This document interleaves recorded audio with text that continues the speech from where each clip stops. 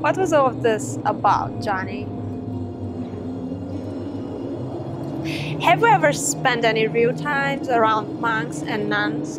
I have. And I expected them to be all stewering and stern, but they weren't. They were actually very easy to be around, very quick to laugh, just attuned to everything.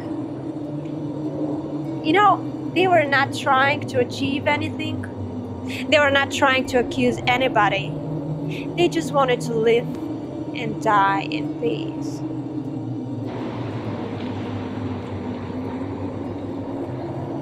It was beautiful. But then again, a year ago, I had this boyfriend. He wanted to be a Buddhist, so he went to Asia to visit a few monasteries.